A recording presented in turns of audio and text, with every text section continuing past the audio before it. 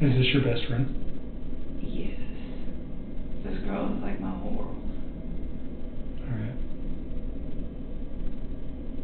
Um, But you're not talking about children or your relationship with Chris or anything like that? no, the only time I ever mentioned him was like that one day. Okay. And I didn't even remember that I even had like said that to her because I just. What's her phone number?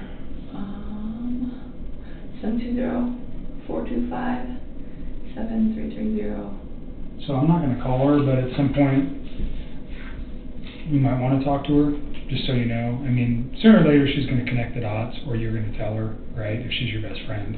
I'm not gonna tell her. If she figures it out, she figures it out. Okay.